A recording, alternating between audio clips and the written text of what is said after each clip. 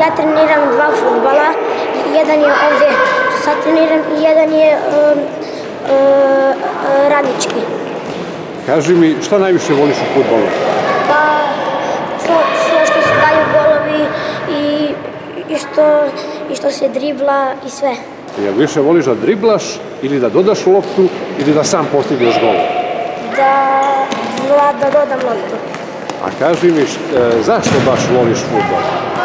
Zato što je zabavan i što se dodaju sa moji igrači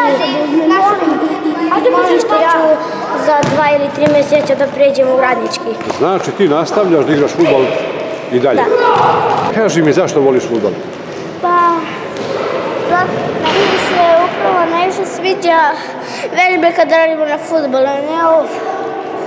Više voliš vežbe nego da igraš futbol? Da. A da li voliš da daš gol? Pa, da, ali po, po, ja nisam toliko veliki da bi stigao po svaki gol s loptom. Ali kad budeš porastao, Pa, Trenirat ću ja ekide, ja u stvari treniram ekide, ali sad dok nema ekida, ja treniram futbol. zašto voliš futbol? E, Volim zato što šutiraš loptu, treba da driblaš i treba da daješ pas i treba da daš gol. I još? E, Volim i da branim. Da li igrate futbol u ulici? Da, često igramo. Sa kim igrate? E, Sa drugarima. I kako to ide? Odlično.